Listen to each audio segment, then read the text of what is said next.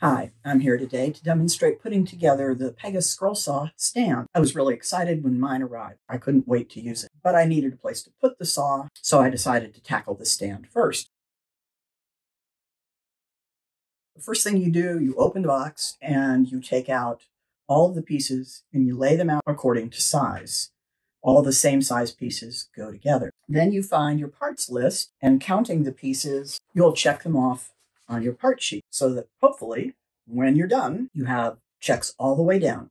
And that includes the nuts and bolts. So then you're going to take the pieces and you're going to group them together by function. And you should have about three piles when you're done. So the leg is the first piece for me. And you'll notice that the leg has an angled top and just a plain 90 degree angle at the bottom. So you take the leg pieces and you put those together. So that would be these and these are the leg extensions. The bottom is the flat side.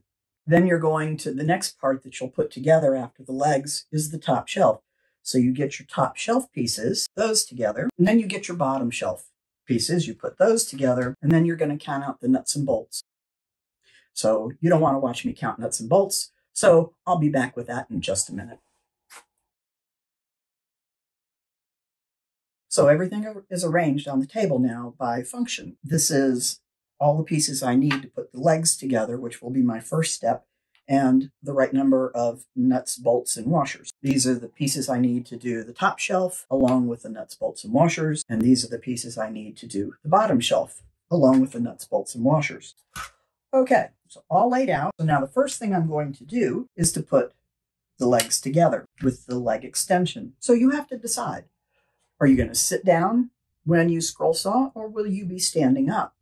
And the reason that's important is because of the height of your saw. I can't tell you what's right or what's wrong. It's strictly what makes you the happiest, what's the most comfortable. So I'll take one leg. This is the top.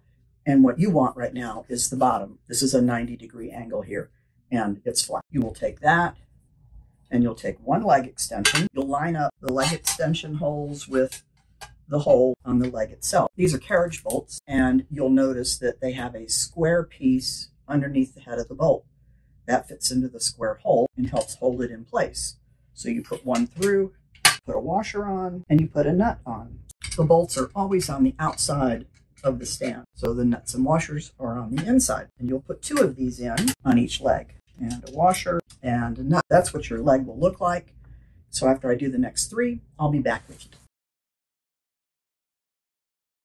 So the legs are put together and I am ready to bolt the top shelf onto the legs. So this is a good time for me to stop and make sure you understand that while you're doing this initially, just putting the pieces together, you want to just finger tighten the nuts, washers, and the bolts. Don't put a wrench on it yet because you want them to be a little bit loose. So I'm going to bolt short top shelf piece to the leg piece. So you're putting the bolt through the square hole, not the oval hole here. one on the washer and a nut, and then you do the other side through the top hole of the leg into the square hole on the shelf with the washer and the nut. And that's one assembly of the legs. Okay, I'll do the other one off camera and I'll be back in just a minute.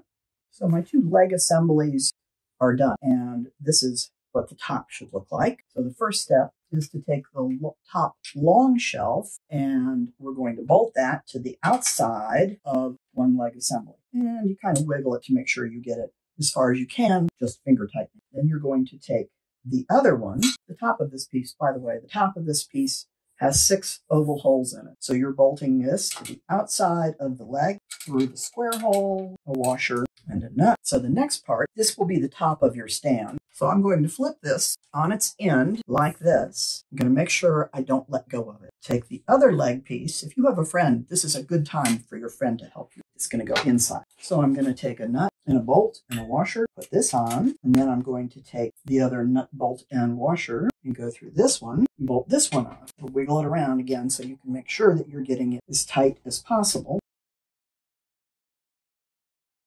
So now I have all four legs bolted to the top shelf of the stand.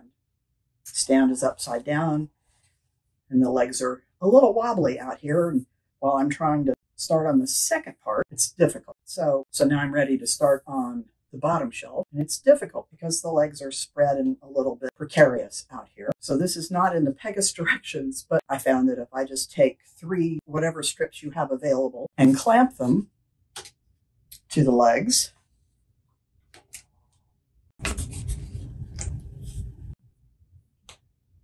doesn't have to be precise, then it will stay in place much easier, at least be more stable, and allow me to work on it more securely. So I'll put nuts, bolts, and washers for this part out. I'm going to take the short bottom shelf and I'm going to attach it. And remember, your stand is upside down. So the top of the shelf has no holes in it here. You need a hole, so you're going to put the bolt here through the stand, through there. Don't wiggle too much because it'll fall out, and bolt that securely. Now, I don't really need this clamp anymore.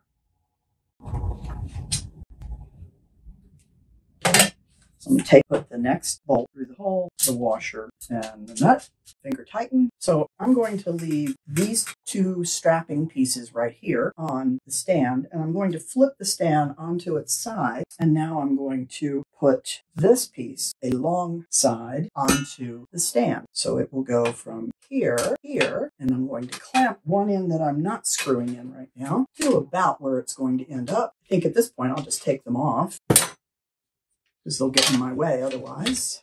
Put a bolt through the top and then the washer and a nut. Finger tightened. So now I'll take this clamp off, the bolt through here, the washer, and the nut. Okay, so I have a short side and a long side, and I'll do the rest and be back with you in just a minute.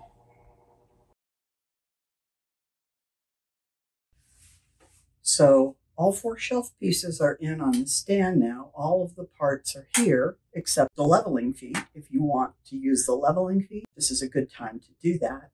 I'm going to turn the stand on its end again so that I can see all the nuts and bolts, make sure everything is the way it's supposed to be, and then I'll take a ratchet to it and tighten these up before I put it on the ground and bolt the saw to it. One last thought I haven't mentioned on this video yet is that I want my stand to be on wheels so I can move it, you know, where I want it. Some days on pretty days, I take it out on my deck and use my scroll saw. So wheels are really helpful for that. If you're going to use wheels, you want to put taller wheels in the back of the saw and short wheels in the front of the saw so that the saw will be slightly tilted towards you and that will decrease the strain on your neck.